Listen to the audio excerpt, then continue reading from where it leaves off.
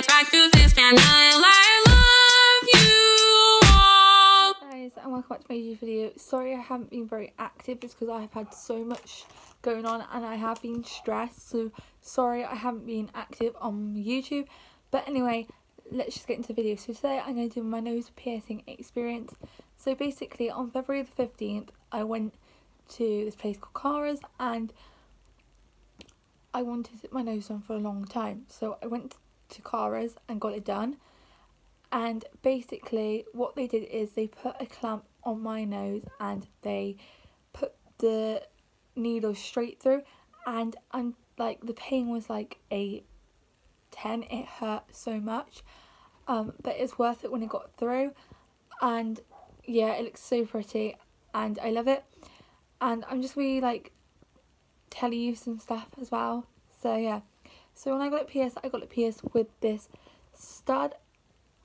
It was so small um and like last night it fell out in the middle of the night because it's so small and now I've got a flower and the L shape in my nose. So if you're wondering if you can get it pierced with a hoop you can get it pierced with a um hoop but studs are like better but the hoop doesn't fall out but like studs you can risk it falling out so basically my stud kept coming out and I kept pushing it back in.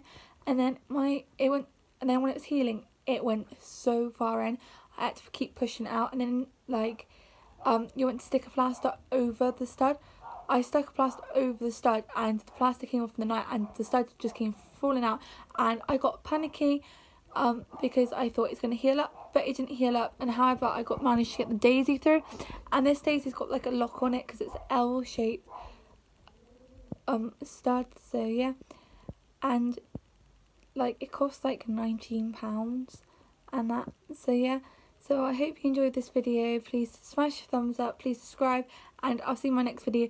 Please um comment down below if you want me to do a Q&A on this and see you in my next video. Bye guys